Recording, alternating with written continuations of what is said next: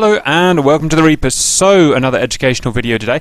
So, we did about a week and a half ago, we did a video I did on my own of Fox 1 combat, uh, so i.e. using semi-active missiles uh, from a flanker or a Mirage. Uh, it wasn't a particularly good video because I don't know much about it at all because I don't use that type of missile, uh, so we got lots of complaints. Um, so, it was really just me watching um, Fortinero fight uh, uh, an AI computer guy, and it, mm, was alright, but it wasn't. It, it, I think it yielded more questions than it actually solved. So, uh, I've got the two boys here. I've got Coffee and Fortinero with me today, um, who are hard to pin down, but we've got them, so let's make use of them. Um, first of all, I figured we'd blast through some questions that the viewers had from the old video, and then if we can get it working, we'll try and go through a new human versus human video and um, see if we can wrap everything up. Last video we did was Fortinero in a flanker versus, uh, well, uh, uh I think it was another flanker and an F-15, but they were against AI guys. AI, AI is a bit weird. Sometimes they're, well, what I find, sometimes they're really good and sometimes they're really thick as muck. Um, so you never really know what you're going to get. Uh, but either way, it's never as good as fighting a human player. Okay, first of all, uh, reading out from the viewers, you slid right past the essential three points uh, sorry, the essential point three times. How do you hold the lock in the middle of extreme evasive maneuvers? So, uh, Fortinero is attacking a hostile, and he is maneuvering, he's dodging the enemy's missiles, he was doing barrel rolls and stuff like that, but still maintaining the lock on the hostile. So, what's your description? Have you got any tricks to doing that, Fortinero? Well, uh, first of all, I mean, you know to know you have to know, sorry, uh, what are the limitations of the of your antenna movement in the flanker in particular, and some, uh, something else. Uh, you can use your head down display to keep an edge in where uh, your antenna is pointing. I mean, where are, are the limits? You will see like a triangle it's not a triangle, but mm-hmm. uh, that has some boundaries. Um, with a barrel roll, uh, high G barrel roll, that is very useful because you can at the same time just bleed the energy of the missile that is coming to, towards you. That depends on, on the distance, of course. And um, you can keep an angle of let's say uh, 30 to 35 degrees towards the, the target and keep the limits of your uh, antenna uh, just in, I don't know how to say it. I mean, so you, you keep, keep the loop. There's a triangle in your head-down display, isn't there? So does that triangle, do the left and right edges of that triangle show the limits of your radar at all times? Yes, this is a little tricky because uh, sometimes, I mean, you, you can be uh, seeing the, that screen all the time. I mean, mm-hmm. you you need to to see outside, out, outside and your HUD, your uh, radar warning receiver. So it's a little tricky. You have also in the HUD a signal that tells you when you are about to lose lock.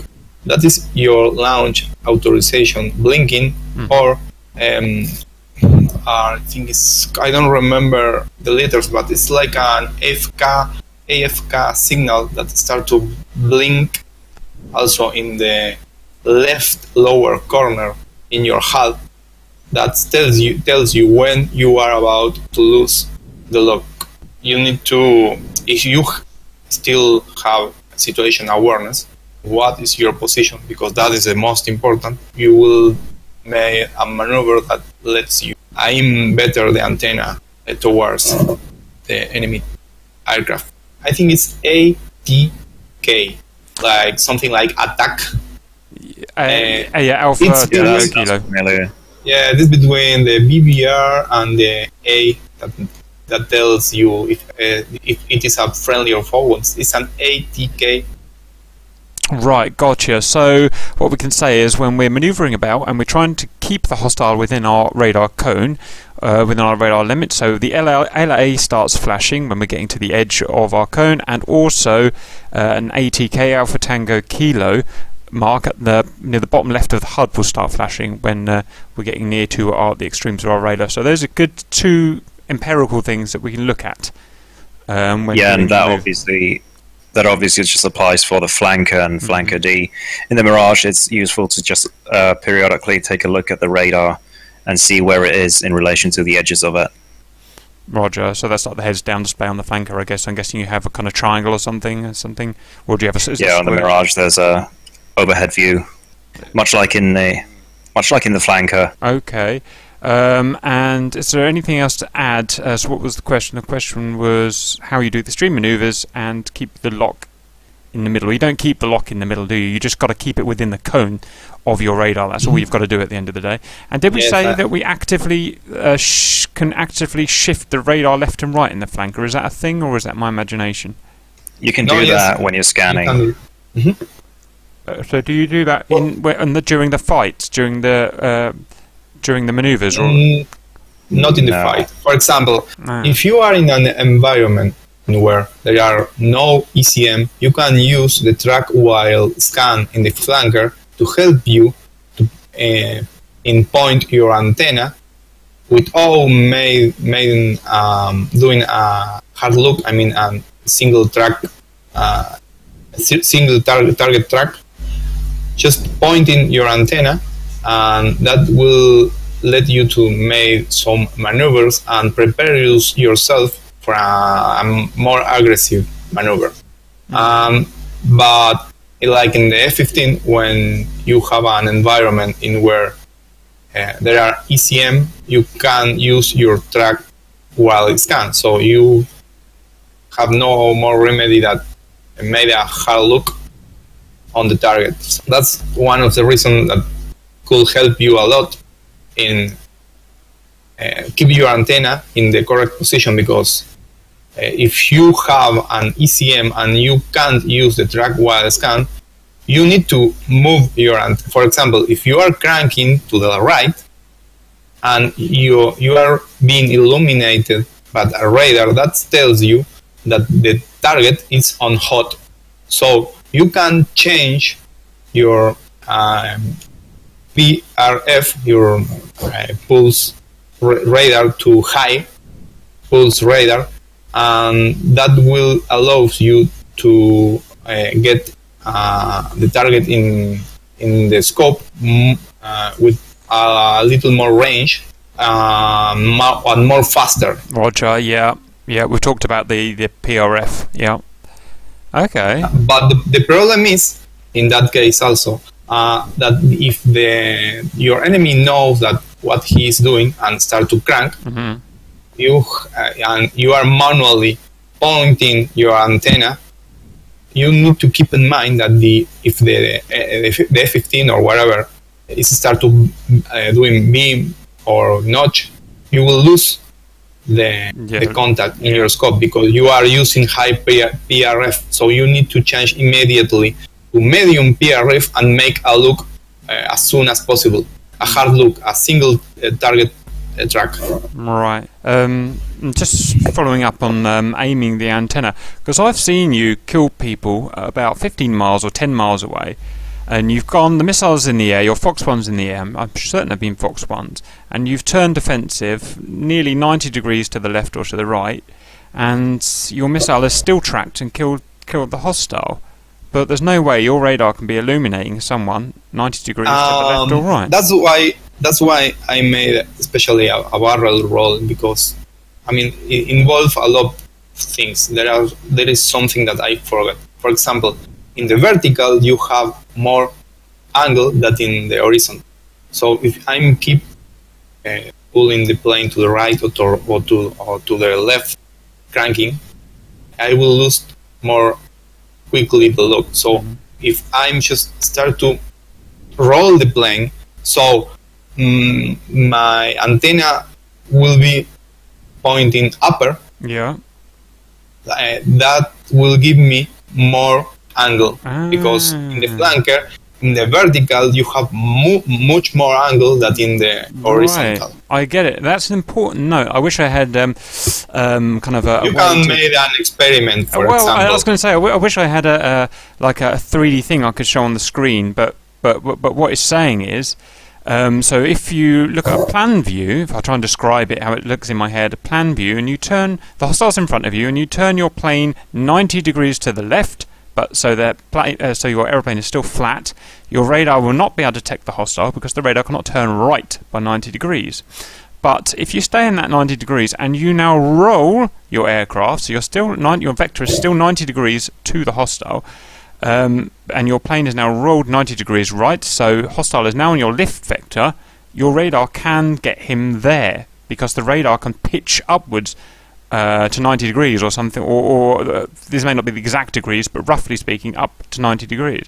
So that's how you get those those big kills, and that's an important thing. So uh, maybe I'll have to do a graphic or something to show that because that's. Uh, mm. Anyway, sorry I interrupted you there, but yeah, that's an um, important point. in the flanker you never know what is what are you facing because you will do something different against another flanker or a mirage or again like in sorry or against an F-15 or a plane that can fire you Fox 3 so how you know uh, what are you facing well you will notice what are you facing just when the that shot uh, when, your enemy shoot a, missile against you. Um, how you know that? Just what uh, watching or seeing your radar warning receiver that is called SPO 15 in the flanker. All the people know that that ra- radar warning receiver is pretty crap, Mm-hmm. but it has something that is very useful, especially against F-15. It has a radar, a ra- uh, radar signal strength display that will tell you when the radar that is illuminating you is more close. And in particular, when um, AMRAAM is Pitbull and start to tracking you with his own radar, you will notice that that radar signal strength will start to increase. And that will tell you when the missile is coming more close to you. Mm-hmm. Uh, if you will receive, a, for example, if you will receive a look, a hard look from a flanker or a mirage, uh, that bar or that display will be, and you are of course very close. You it will be always in the maximum. Um, You will do not appreciate uh, with exactitude when the, the missile that are coming towards you uh, will be more close. Uh, that is um, quite important to because if you notice that it's an AMRAAM that is coming towards you and you do not have the advantage, the evasive maneuver, maneuver that you must to do is an speed lead S and bug out of there and change your position and try to ambush uh, your your uh, your enemy. And so that's the use of that's so that's a tactical use of the Russian RWR. The RWR. Yes, Hmm. mostly. Interesting. Cool. Okay. So that's something else. Because I must admit, I hardly ever look at my RWR. Well, I don't at all when fighting, which is really bad. So, hmm, okay. Fine. Um, I'll move on to the next question then. What also seems critical is that unlike the AI, Fortinero cranked early before any missiles were in the air and when the range was l- long. Yeah, so I, I went through this in my F-15 video and I'll just very quickly, I don't want to, you know, bog this down. So Fortinero cranked a long time before the AI because Fortinero is a human and he knows that he has to start cranking um, about, I usually say about 30 miles, which is way beyond the range of any missiles in, in DCS, the way it's set up. 30 to kind of 35 miles, start cranking. Um, we do that so that we can reduce any effectiveness of um, a, a long range missile that a hostile may fire. Um, I've explained it with pictures and stuff in a better video, so I won't go through it more. Uh, an AI won't do it. Uh, artificial intelligence isn't smart enough to really understand that. But a human knows to crank early, way before any missiles can potentially be fired, to get on a hard 40 plus degree crank. Um, so Smart humans, anyway. Smart. Oh yeah, yeah. Well, yeah. I mean, uh, uh, uh, we've got quite an interesting group here. That we've got some good guys, some medium guys, and some shit guys. Because it's an open group, it's always going to be the same. And we can see the difference when we do the tactical debriefs. We see the good experienced guys get on the hard crank, crank it absolute limit, and then we see the noob guys just obviously fly right in and usually get shot. Um, and uh, it, it, makes it as a, a good teaching tool. But anyway, yeah. Yeah, go ahead. It's also useful when you're fighting somewhere like Open Conflicts or wherever in PvP, and you see someone just coming head on, doesn't care anything about cranking or notching. Mm. You kind of know that this person is yep. probably rather new, so you can kind of relax and talk calm about your own engagement. Yeah, well, half of the battle uh, on a public server. I mean, ours are a bit different. Our missions are almost all against AI, and so we know AI back to front. We know what they're like. Uh, but obviously, fighting humans, you never know what you're going to get. So the public server is cool like that. So um, half of the battle, I think, is judging what the hostile is like. Um, what the hostile human is like, and just like you said, if you see them coming and not putting any crank on, or, or you see them they're not full power or whatever, any of these small markers you can see, you can judge their skill level by that compare it to yours, and um, then you can make a decision how you're going to approach that. Are you? Is it worth fighting this guy? Is it not worth fighting this guy? What kind of stress do you have to put yourself through to fight it? You're going to have to go full, you know, full um, yeah. skill level, or is it going to be an easy uh, shoot and scoot? Um, so, for example, if you're flying something with a proper radar warning receiver, such as anything on the Western Front, uh, you can kind of see what the enemy is flying from their radar signature, mm-hmm. and if they are flying, let's say, an F 15 and they do a crank and you're flying a plane you're not proficient with, you can kind of make the no uh, go no go decision quite easy yeah. and don't go against the target that'll probably wipe you out. Yeah. But uh, if it's flying something completely different, or if they're flying a better, statistically better plane than you, but they're very shit, uh, you just go for it. Yeah, and I've always always uh, said this, and um, people tend to get kind of um, target fixation. They see, um, but the the less experienced guys, they they see a hostile in the air, and they've got to charge it, and they've got to kill it. They don't matter what it is, they've got to do it, and that kind yeah, person almost always gets shot down. Yeah, or they see a plane that's better than theirs, and they just immediately run. Yeah, you've got to yeah, exactly. Choose your battles and um, decide when you want to fight. And uh, like I said in the previous video, if, if there's maybe three hostiles in front of you and you're on your own, you know, you don't want to just charge into them or you don't even want to do a tactical fight against that. What you want to do is um, skirt around the edge, uh, keep them in, in, in vision, but so you're well out of um, any kind of attack range, and just wait until one drops off or two of them drop off and makes it an easier fight, and then go for the attack. Uh, so yeah, more maybe we'll do maybe do a proper video about PvP and how we do this kind of thing uh, another time. But yeah, clever fighting. That's it's because the the people in general uh, don't care lose uh, his airplane because it's an earthquake a game. So they will die and they will they will take another plane and repeat. Yeah. I like try to keep my. I mean, I, I don't like lost my airplanes. So even if I have a very good engagement front of me, but if I'm have risk to lose my airplane, well, I, I will evade that engagement.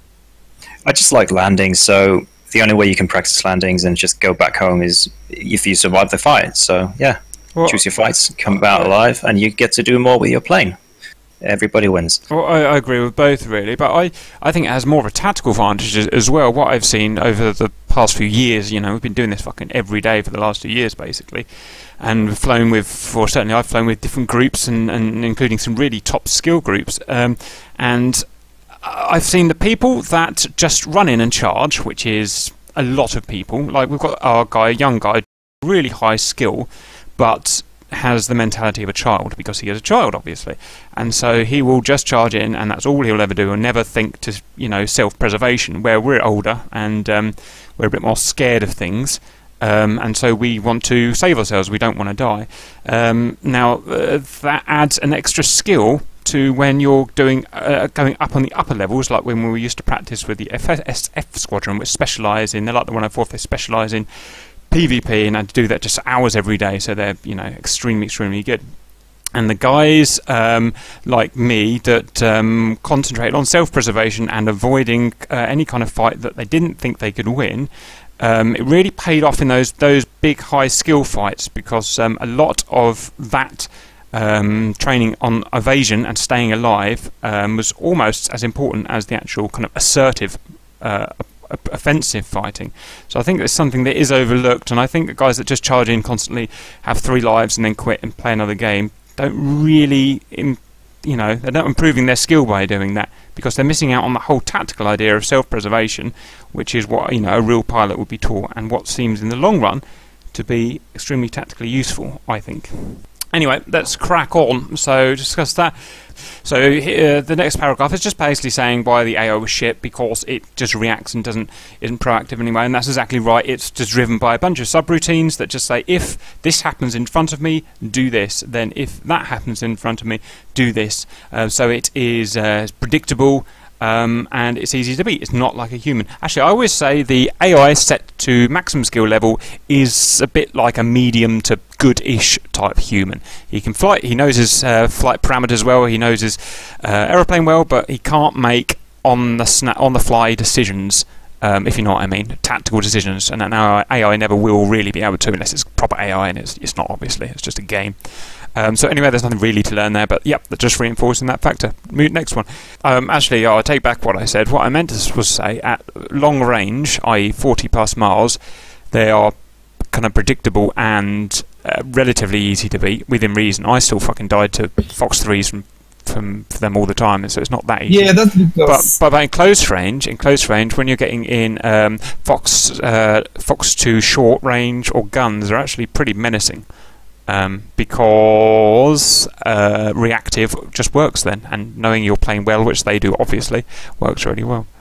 Yeah, and they never lose track of you. And that's a plus for them. Yeah, obviously, that, yeah, especially when yeah. they are aware of you. Uh, Yeah. They they react to radar signals at long range, long range, and when when they are in the visual range, they know everything, Yeah. and they know always where where you are. In the video that I made for you, uh, in fact, I can see when they sh- shoot miss a missile me. Then that is because I just cancel the crank and start to bleed the uh, M- uh, AI and missile energy and etc. etc. yeah, that's fine. They are very predict- predictable. It's, it's not good.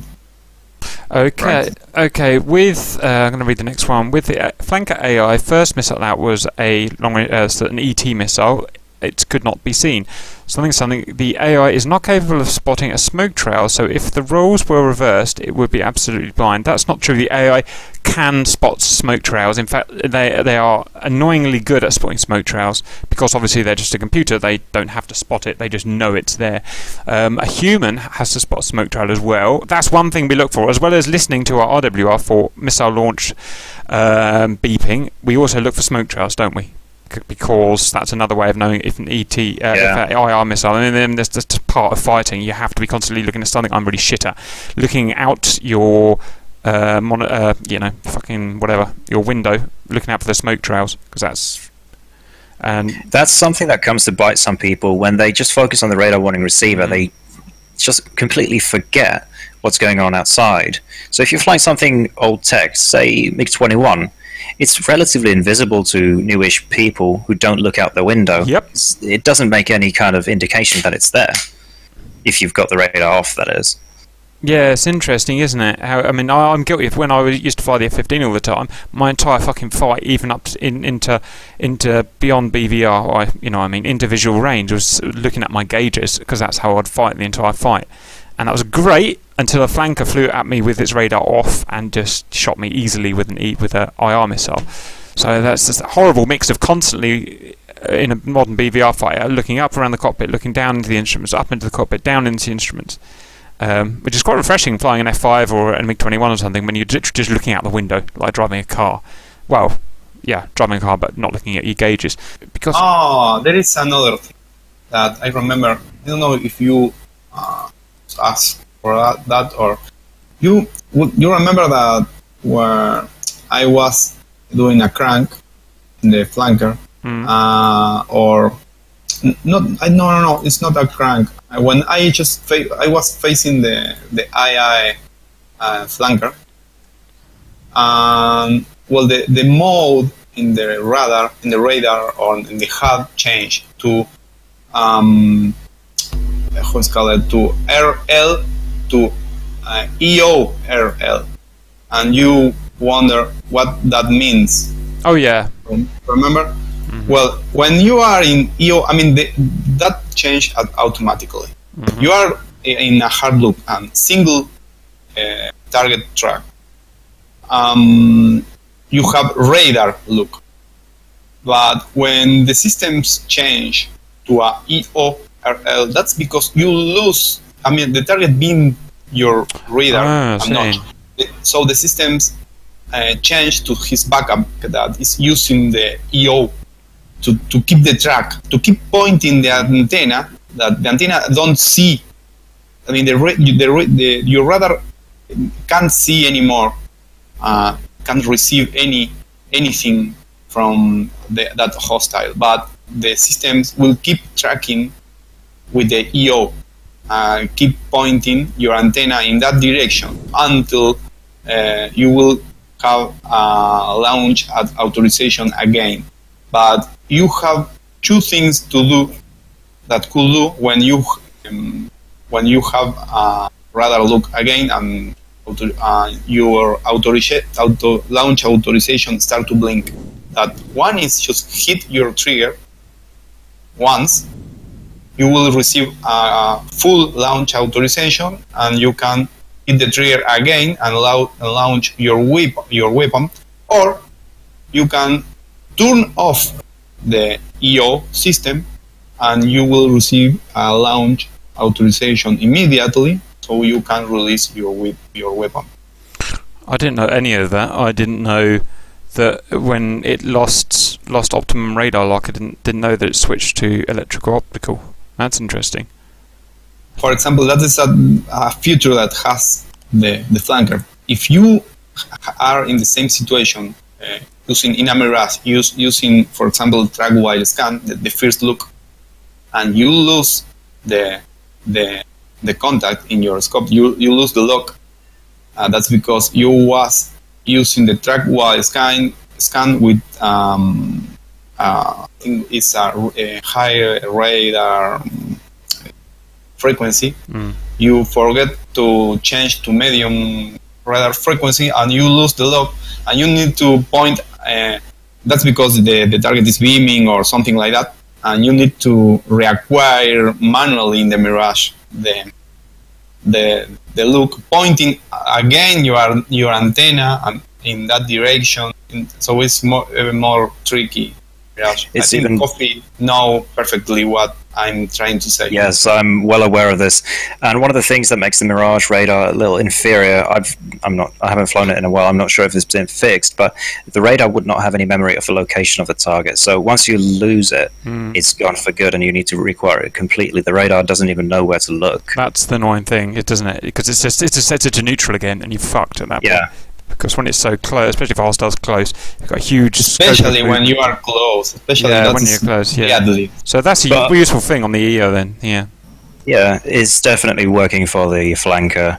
But for the Mirage, the close quarters battle modes, they seem to work quite well. hmm So if that was an F-15, I was in an F-15, and my target beamed at or, uh, notched at I don't know 11 miles or something. Th- that's it. I'll just lose it. There's no way I can get it back because I don't have any backup at that point until I can try and reacquire it again in the future. I think the F-15 radar has kind of a memory system in it. God, I don't know. I could Maybe- be wrong. It's not my main. It does. plane. It does stay. So if it's tracking something and it loses track, it will stay at that the antenna. Yeah, exactly. Will stay at that orientation. Not that the actual dish moves per se, as far as I'm aware, but it will stay looking at that point. So that's good at least. And it will pick. Yeah. And then as soon as you know the plane is an, as- hostile is an aspect where it can be seen again, it will just ping back up again. So that's good. Yeah, that's exactly what I'm talking about. That functionality does not exist in the Mirage as of yet. Interesting. Okay, fine. Um, right, quickly f- uh, finish through this. So it's important, blah blah blah. So it's just this guy's just talking about the AI. That's fine. We're not really interested in the AI, the AI though. We just use it as a you know an, an example. Uh, as you pointed out, 14 Arrow first fired his missile Fox won when the odds were against it. Um, obviously, that was a long shot. Must have been a 15 mile shot or something. The point of this was to unclear. Yeah, so it's just a tactical move. You, you'd like to put a Fox one out quite early, don't you, Fortinero, um, to pressurize uh, pressurize the hostile, especially if they're uh, a more newer um, uh, player. They, they, you're going to pressurize them to put themselves in a vulnerable position. They're going to lose speed. They're going to lose, you know, lose posture, aren't they? Uh, uh, and, unless they're an experienced player and they know that that fox couldn't hit them, um, then it's a good move to do to send out a, a long range uh, missile to begin yes, with. It's, it's like a psychological test. Yeah, so yeah, so that, is, that, that actually that actually works be, very well with yeah. the Mirage, at least used to, because you only have two radar missiles, and generally people think that if you fire, you have a good solution. yeah, But if you just play with their psyche for a bit and fire off just a shot to force them defensive, I've had many kills with that. yeah. I mean, I like to describe it as um, two kind of um, two guys. I, I always use the word posturing. You know how two guys when they're drunk kind of posture up to each other, and it's most of most of it's bullshit. You know, trying to see who's you know before before they start swinging punches. they one guy tries to get in the other guy's face, trying to get the other guy to back down, and, and it's kind of like that in a way. You're kind of uh, out psyching your your your your opponent, and um, it only comes unstuck when you're facing a really good hostile who knows ex- all of his numbers, you know, all of his ranges in his head. He knows that you you can't hit him if he does a certain type of crank or something. Uh, but otherwise, it's a good way of psyching out your your um, your opponent. Um, a couple of curious things Fortinero did can be explained with a little thought. As you have pointed out in the other videos, he has a habit of following a Fox 1 with a Fox 2. Yeah, I noticed that. It's very annoying. I suspect his shift to the plane's IR seeker against the other flanker may be a routine prep for this little trick. Further, his habit of breaking right is probably because an extreme right shift of the stick is easier to do because your body isn't in the way of your right arm. It is a fairly automatic habit of Fortinero's part. I'd follow that anyway. Okay, fine. Uh, there can. Uh, you, there, there's no reason why you crank right all the time, is there, Fortinero? it's just no, habit. In, in your mission is because your the sun was in the, Oh, okay. the left, Well, there's, the, there's, right, uh, there's- the right side. there is- so when, if I crank to the left, the, the glare in my head down display just bother me. That's well, why. there's another. That's another good Sun lesson. is a tactical element. So, sun is tactical Yeah, element. it's very tactical. So I've never even thought about that. Yeah, but it's when you're choosing your crank as well as Um, picking the hostiles. Another thing is I, I never do the same with the with the flanker. At some time I just fire an ET behi- um, just be, behind an ER, or sometimes sometimes I just uh, they do another trick like just hard look and get close, fire an ET. He will expect that I'm fire an ER and uh, and just uh, re- receive a warning of launch and then uh, immediately that I fire the the, e, the ET, I'm start to flare and doing silly things to get away and just to confuse uh, the, the the my enemy that is in front of me.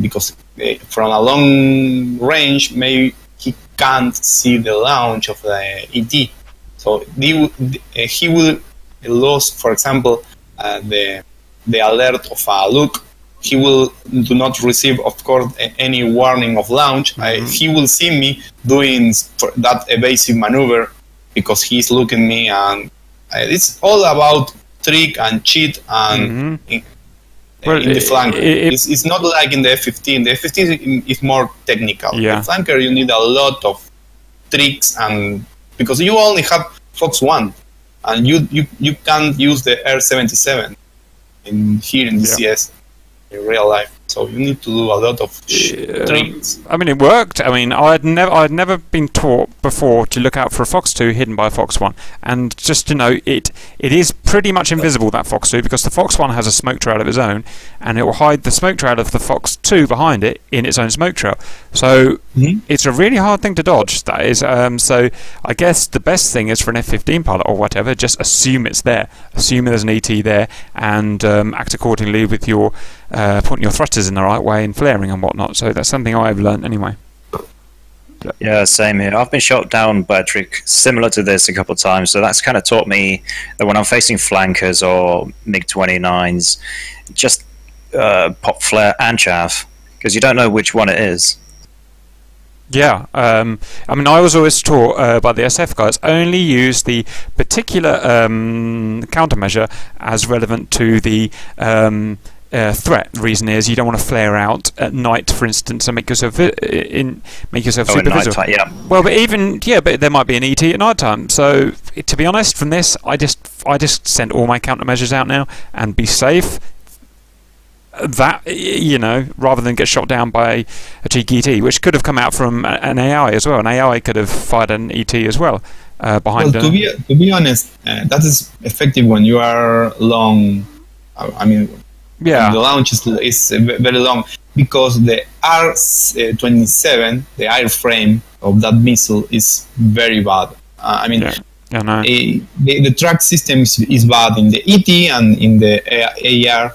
Um, eh, it, it's very it's, it's easy to outmaneuver at distance, especially when the missile loses his fuel.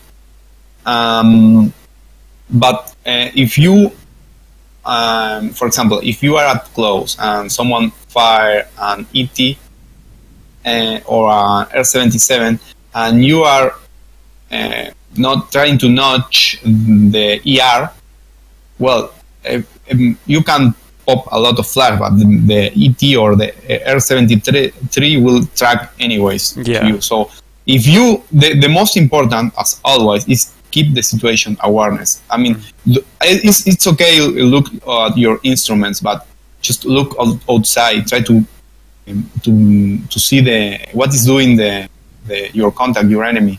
Um, if you will see more more missiles coming towards you, um, even if you have, I mean, an an, uh, an alert or alarm telling you that an ER um, semi-active missile is coming towards you, um, you the best that you can do uh, is get away as fast as you can, or if you are pretty sure that uh, IRs are coming towards you, just face uh, towards your nose, towards the uh, IR, put your engine and start to uh, deploy flares, doing barrel rolls or whatever. Uh, that is pretty effective against IR. Yeah. Regarding uh, countermeasure usage, there's a sign of a bad pilot, and that is if he's still got countermeasures that he could have used when he died. That's a good point. Guilty. Hmm. I mean, that's that's that's going. It's like the fuel as well. Like I always say, if you're going to fight, you're in a serious fight. You will use mm, maximum power of your engines when they should be used. Um, a lot of people, like uh, some of the other guys we've got here, want to save fuel all the way up to the last moment. You know, unt- until they're firing missiles. And it's like, no, you'll just cut your fighting ability by thirty percent there because you haven't used your afterburners. You've got to use I'm that sort of up. guilty in this. It with the MiG 21, I try to preserve the engine too much. Roger, I don't know any anything about. I, um, yeah, I don't know anything about uh, that particular plane, but Yeah, the MiG 21, you can flame out the engine if you afterburn more than three minutes, I think. mm, So I'm overly cautious with that, and that's something I need to work on personally. yeah, it's. Um, I mean, it's it's kind of I don't know. It's al- almost an unnatural thing to do because obviously, like we're talking about self-preservation there. You want to have fuel so that you can get back. You know, you need that fuel so you can get back to land.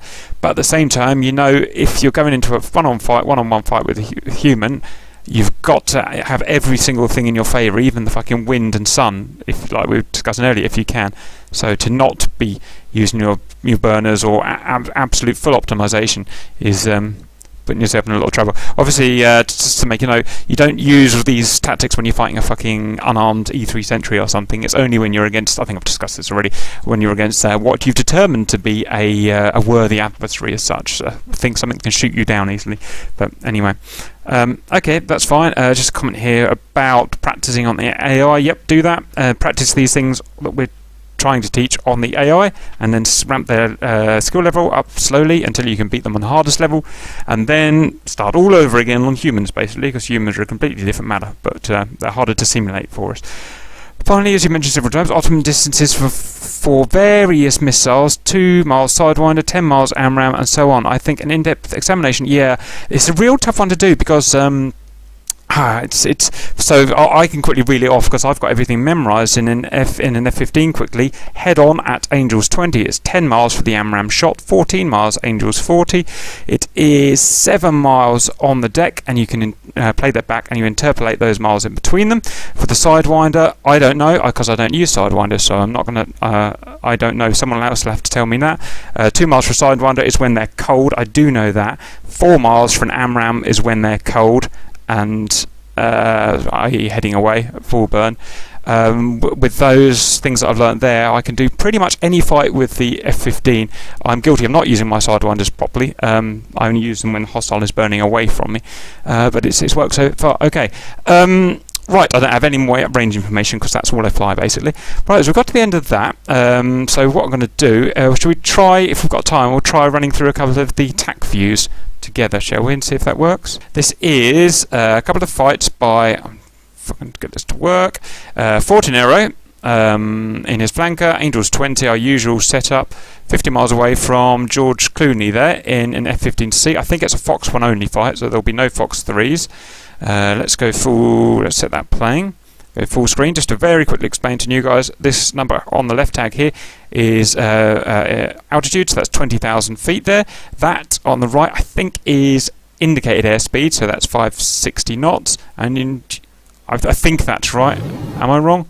That's true airspeed. Sorry, that's true airspeed. Um, and for and here's the more I always get these wrong, so someone will correct me, I'm sure. And here's the um, the fuller data. Roger. So we've got Fortinero is cranking to the. There's an AIM 9P. I don't know why that's there. I think that's just a dead missile. So what I can say is they're at 30 miles, and just on cue, Fortinero is cranking a lovely 40 degrees plus to the right, and max speed 710 um, uh, knots, extremely fast. You can see the squiddle is uh, George Clooney is not cranking at all, so he must be a noob. He's going fast. He's going much faster because he's got an F15 and he can.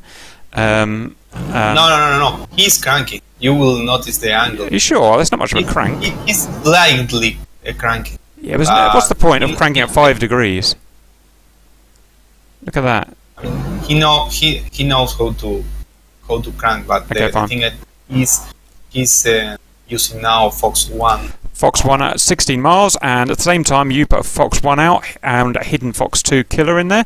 He has um, got the receive. He's received the warning. He's gone into downward evasive maneuver. So have you at the same time. So you're matching each other basically. You've done enough. You've burnt that missile right down, but he hasn't burnt your missiles down. They're still above 1,000 knots. He's put another one out. Relatively. He's ditched your missiles. You've put another salvo in of ER followed by ET. Very high energy. Look how fast yours are compared to his speed. And that's just got him. Uh, too high energy. And that's a point to, to remark. For example, pause Yep. that in. Why uh, my missiles have more energy than the Square Two? That's because the F-15 do not have any limitation with the fly-by-wire. You pull hard, hard your stick. You will do a very nice hard she maneuver, but you will lose a lot of speed. So with the flanker, you can't um, pull. I mean, just di- disable your fly-by-wire and pull hard shim maneuvers because you will broke your wing. So uh, the the maneuvers that let you do it are very smooth, high she but very smooth. Mhm. Know, so why I'm keep better the energy. A very good F-15 fla- uh, pilot will try to m- maintain. Do not do hard she maneuvers. I mean, do not pull too much the Mhm. stick hmm because the, the F-15 allow you to do that. They, re- Uh, so they rely on their uh, fly by wire yes. too much then.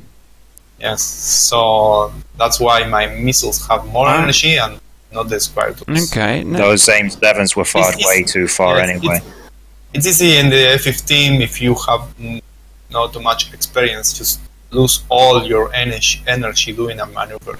Yeah, and um, because the F-15 is far superior uh, to the flanker in that aspect. I mean, it's an it's an purely energy fighter, so you need to. I mean, you have to keep that energy sometimes. Sometimes it's very good to to bleed the missile uh, kinetic energy uh, and do a, a defeat the missile. but sometimes, the mostly you, you, I think you, you need to keep your energy up in the F15. I think. I'm just trying to see what your your speeds were when you shot your second salvo. I mean, you were both the same speed when you set your shot your second salvo, but his were just shit for some reason. I think he would, he turned as he was firing them or something. So you, you're Yeah. both at 660 knots. You're both like perfectly matched, but but but his he, he's just his just scrubbed off right away, while yours kept their kept their speed up really really high. Look, you're over 2,000 knots on that one. He's down to 1,400 already. That's a huge difference. So he must have fired Uh, them wrong. He must have fired them wrong. I can't see because of the screen, but um, was he firing them from a steep turn? So I'm just trying to look now. So, uh, so let's go and have a look. Oh god, he's a bit all over the place to be honest. Um,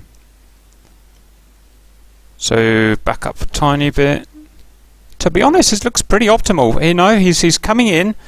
Um, let me run that through. No, he's coming in uh, uh, straight vector, left degree bank 30 degrees. Sent it off, and it's just slow as fuck. It's um, it's gone up to 1400 knots and then just stops there uh, it slows down. Whereas, uh, so both did pretty well to be honest. And Fortinero's, maybe it's a difference in the missile. Went up to 2,000. There was just never any.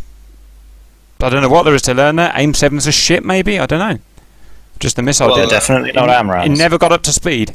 Whereas just now, um, the ERs from the Russian mate got below 1400. So there was um, anyway. Well, one thing is the um, the Air 20 the R27 are the same crap that the AIM 7, but it has more range. Mhm. E- Even has a little more range than the AMRAAMs in the game. In the game.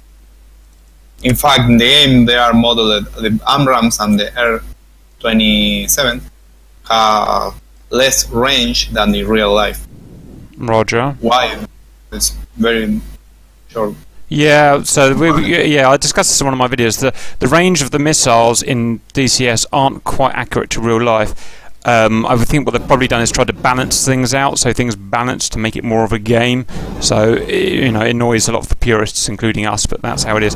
Right, you ready to run through Fight Two? So pressing play, same deal. Uh, 50 miles from each other. They both got their burners on. Going to pick up speed. Immediately, George Clooney's miles faster because his aeroplane is. Mm-hmm. Stomped his tanks and wait, look how fast that fucking thing is. It's ridiculous. I noticed that George Clooney goes down slightly to pick up speed, whereas Fortinero goes up slightly. I don't know if there's any advantage there. I mean, in reality, um, uh, who was it? Jabbers or another one of our um, fellow um, video makers did a, a video, uh, an F-15 video with a real F-15 pilot, and and and that real F-15 pilot says go higher than the hostile, so you got so you can effectively do a long bomb. You can shoot further if you go higher than them. Uh, that doesn't translate down to DCS because of the change the the, the, the change in missile modelling that they've done that we talked about a few seconds ago. Going higher doesn't seem to help at all. If anything, it seems to um, gives you a deficit. So just due to DCS, how it's slightly modified from real life. Um, otherwise, you know, oh, well, saying that F-15 is going high this time. Don't know why, but I reckon it probably won't work in his favour because we've had plenty. Well, in, in fact, going high lets you have uh, more range. but but, but it, it what makes The- you can't dodge though. you can't dodge. Yeah, that's the problem. You don't want high. I mean, make a launch to That's exactly so long. That's exactly right. The, so this, just to reiterate, so the real F-15 pilot, and obviously he's right in real life, but this isn't real life, says go high, go up to Angels 40, 50 or something, and long bomb missiles in. That's great. It doesn't work in DCS because if you fire a missile at 40 miles in DCS, Fortinero can easily dodge it. You know, it's got zero chance of hitting. Now the problem is when you're up there, uh, like look at this guy at 35,000 feet, 40,000 feet. There's no air up there. That F-15 can't maneuver up there in real life or in DCS. So Fortinero can put a missile firing up there, and missiles love to go up high. They work better the higher they go. An aeroplane works worse and worse and worse. So it just makes you a sitting duck every time I've tried to go up high. And uh, everyone's always told me, don't go up high, don't fight high. In DCS, you'll get shot down. So that's important to learn. Important thing to learn. Yes, in real life, that's probably wrong. Maybe I don't know. In DCS, definitely don't go up high, and hopefully we'll see that in practice here. We've got high uh, George Clooney here and Angels 20, which I say is perfect for uh, Rotherwood's Middle. Angels 20 is the perfect optimum height for fighting.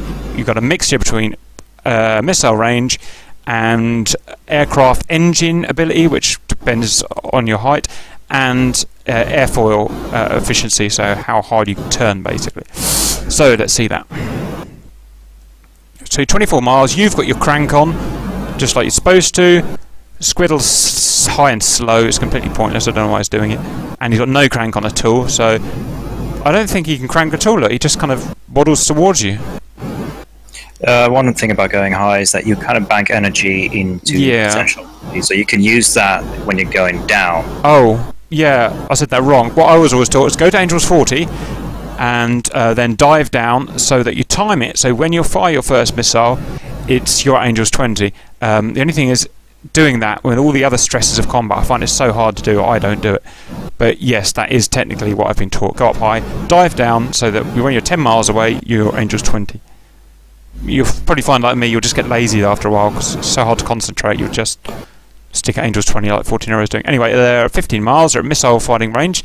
Let's see who fires. Uh, Fortinero fires first, and I reckon Fortinero will win this because look how he's a sitting duck up there at Angels 35. Let's look at the missile speeds. Fortinero's ERs are well over 2,000 knots. Yeah, the AIM-7s are no. Yeah, it's a it's a deficiency in the AIM-7 maybe. It's right. It was started off. It never got higher than 1400. Both are doing their diving rolls, which we've discussed. It's got to lose height to beat a missile and change vector and aspect. And in, for, uh, George hardly scrubbing any energy off these missiles.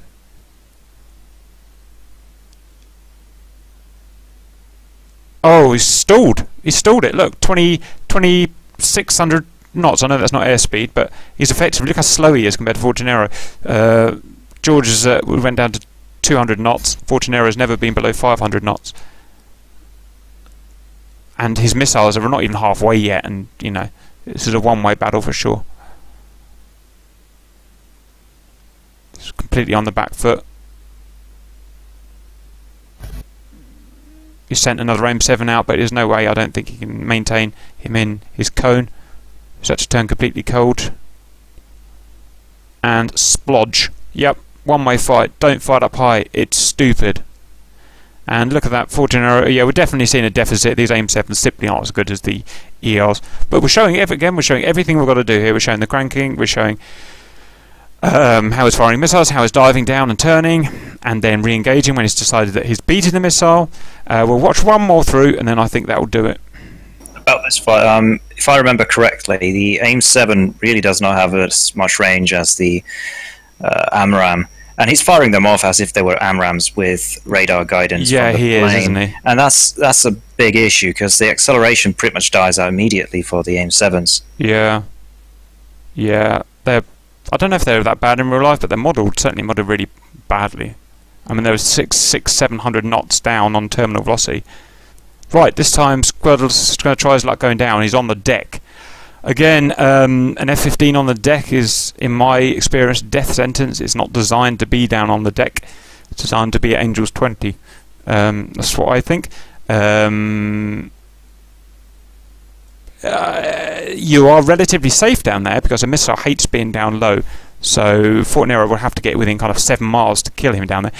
Adversely, he's just got no energy to play with. Squirtle down there on the deck at 400 knots. If he wants to start turning, he's just got no energy in the bank. No, uh, was it potential or kinetic? I can't remember. But he's got, he's got. I think that in particular is not a good fight because Squirtle just uh, just spam all his aim seven.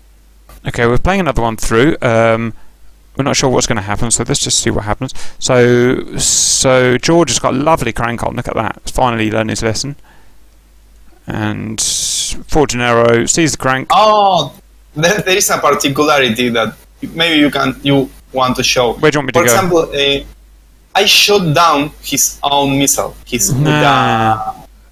AIR. Uh, Squiddle's on the deck here, uh, so he's hiding in the mountains. Um, obviously, yeah, this is a great tactic to do, but it's not something we can really cover because it's so multifaceted. Um, but we'll run it through anyway. Fortunately, I was just doing the usual, you know, coming straight on uh, a normal head-on fight. George is hiding in the mountains, and let's see what happens. I'll probably skip it forward because they're going to be going quite slow for this one. So I'll just skip it forward a bit. So they're going to wait until they make some sort of contact. Ah, right. And You can use the middle mouse button Roger, and move your now. mouse. Roger. So George is coming out of the canyons now. He's decided to make his attack. Uh, they're 14, uh, 14 miles away from each other. Uh, Fortinero's, energy high, burners on. S- George is fairly energy low, really. Ah, he's fired. No, he hasn't fired. So Fortinero's. F- they've both fired missiles at each other. Fox 1s, I guess. It's just a straight on, and we've got a hidden ET in there as well. George is doing his usual um, calamities, dodging. So when they've decided they've beaten the missiles, they're going to roll back into a, head-on vector again. Fortinero's made it first. Fortinero's had a much uh, much more aggressive fight there. He's back on vector already. Fortinero's losing lots of altitude. He's right down in the mud now. In fact, they're both down in the mud, heading towards each other, nine miles away. It's going to be a funny old fight. This is eight miles.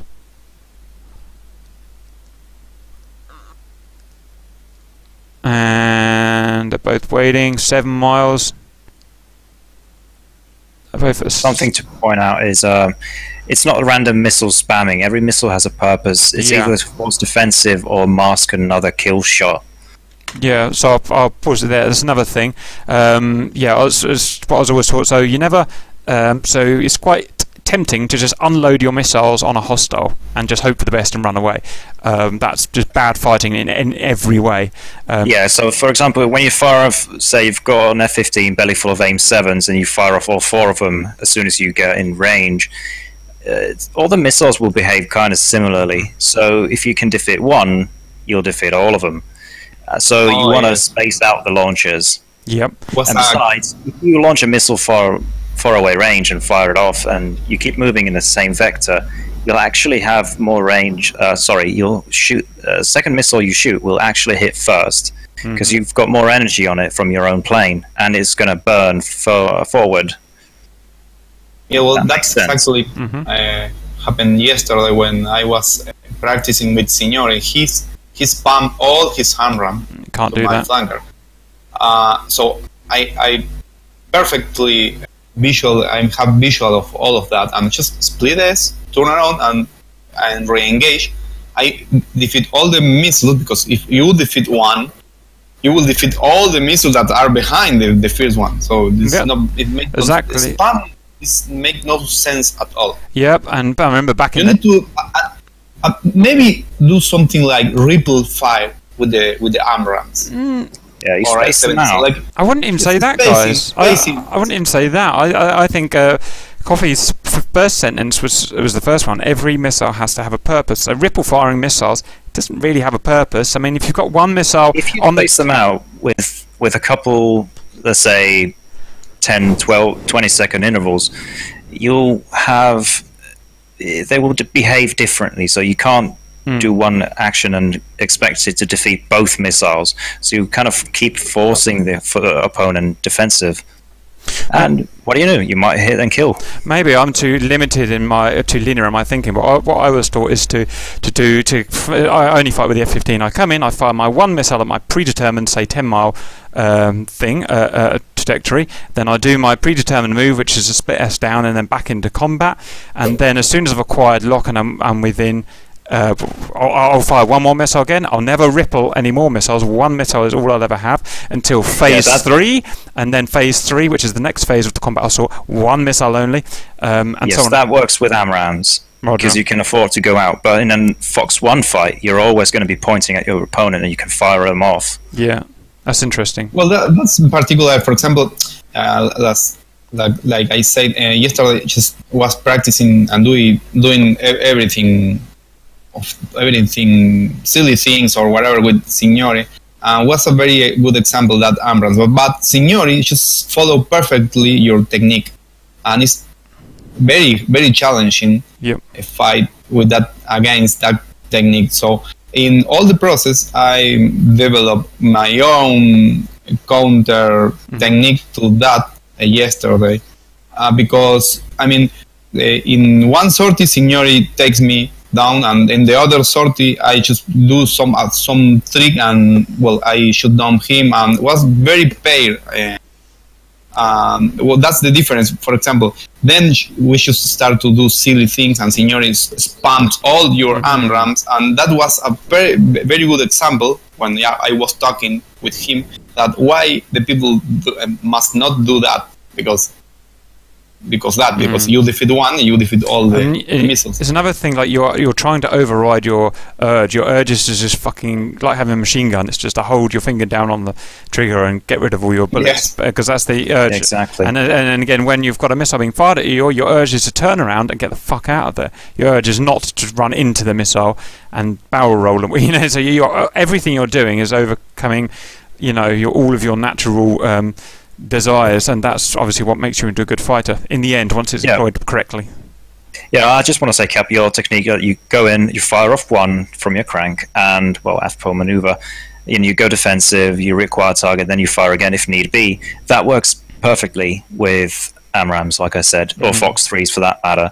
But this kind of method only works for Fox 1s, where you're always pointing towards the enemy, more or less. Roger. So it's almost like a joust because you you're not turning away. You're always in Yeah. each other's cone, aren't you? So you're always, in each other's danger, which is why I don't want to fucking do it. I hate the idea of doing it. um, right. Anyway, let's see this through, and then we'll, we'll terminate with any uh, parting comments. Stand by. We're off again. So they're getting close. They're five miles now. We've got an ET. So let's see if um, George sees. Oh look, fucking yeah. Right. One back. Now that was interesting. Um, hang on, stand by. I've just got to get this right. Uh, pause, back up. So what we have there is Fortinero uh, spotting. Um, so how you do this? Because it's a smokeless missile, aim seven, isn't it? Or no, I, at that range. I was, of course, always in, in EO and at that time with vertical scan. So I, I keeping scanning with the vertical scan and keeping an edge. I think I remember uh, how tally of that little dot. So I feel, Yeah. oh, there is a quartal. So uh, I point my vertical scan over there and get a look with the EO because the, the missile is hot. And just made my launch.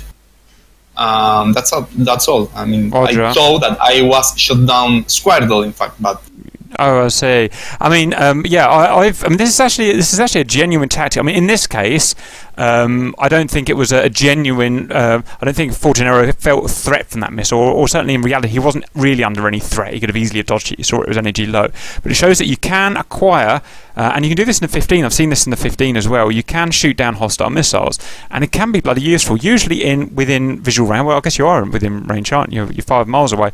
So this. Uh, I used to fight when I was in the 59th. I used to uh, fight some of the guys that down there uh, doing IR missile practice, so within 10 miles.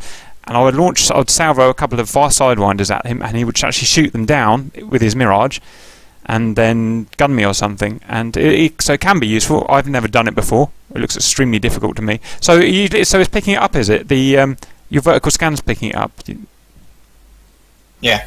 All right, so it does it all for you then, basically. God knows how it, you know, sees such a small cross section. But I remember at first have a tally. I mean, have visually confirmation yeah. of that dot. So I point my vertical sta- uh, scan towards the, uh, that. Yeah. That's why I, otherwise I just uh, make a lot of emphasis in to keep your eyes.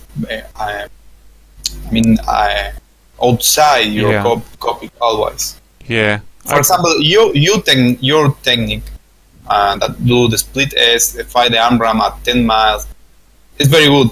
But, but you need to add, I mean, the you need to perfectly to try to to see where is the enemy because Yeah. if yesterday I do exactly the same. Well, when I saw um, Signori fire that AMRAAM at 10 miles, I, I just do the same. Uh, split S, I hit the deck, turn around with all my EO, I ambush him from the, his flank because he w- was uh, uh, turning, keeping his energy to re-engage and do the same.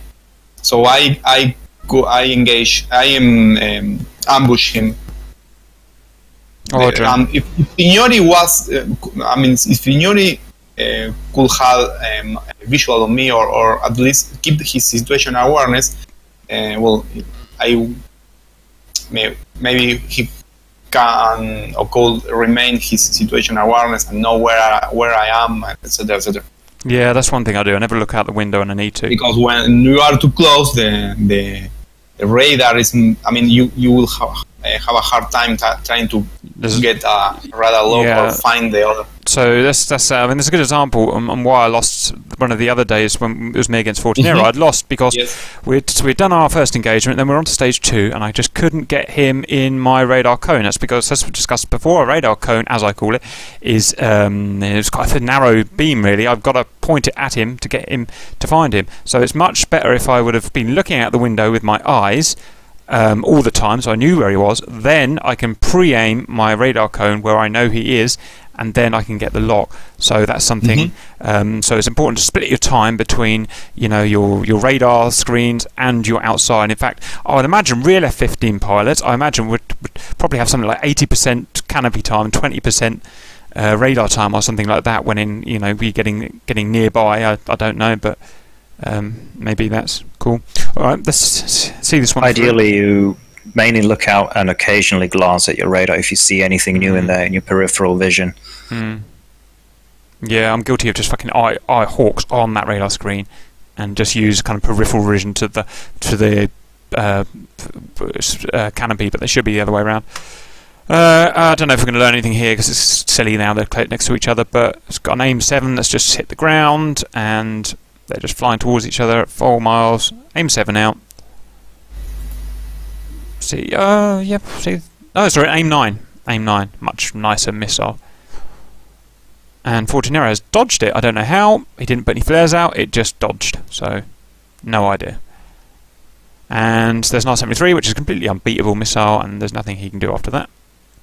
Pow and oh, you got each other. yeah, well done. Uh, so I, Well, I saw the I saw that uh, AIM-9 launch. Mm. Uh, I cut my throttle just. Uh, Oh, th- oh, so that's how you beat it. He cut his throttle. Yes, I mean, I have. That's the, I'm trying to say. I mean, I always uh, try to keep my situation awareness. Wh- Mhm. When you have your situation awareness, you have more chance to to survive. Well, in this case, he just uh, fired at me. Uh, I'm seven at point blank at the limit, and that at this, that distance, if you don't know that this firing a semi-active radar missile, well, it's pretty hard to dodge. Yeah, Roger that.